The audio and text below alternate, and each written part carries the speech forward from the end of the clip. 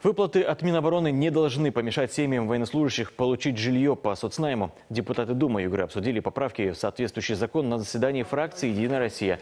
Дело в том, что для получения жилья по соцнайму работает принцип нуждаемости.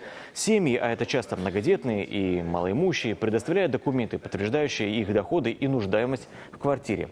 Само собой, среди тех, кто заявился на получение жилья, есть семьи мобилизованных и контрактников.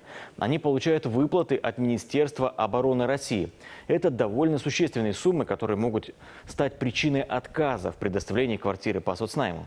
Югорские депутаты считают это несправедливым. Вот те выплаты, которые они получают по линии Министерства обороны, чтобы они не учитывались при э, подсчете методики оставления человека на э, учете. Потому что э, там в основном должны быть многодетные или малоимущие. А вы знаете, что выплаты, которые производятся по линии Министерства обороны, они достаточно большие. Поэтому на фракции вот такое решение мы поддержали. Я надеюсь, что завтра депутаты единогласно поддержат решение фракции.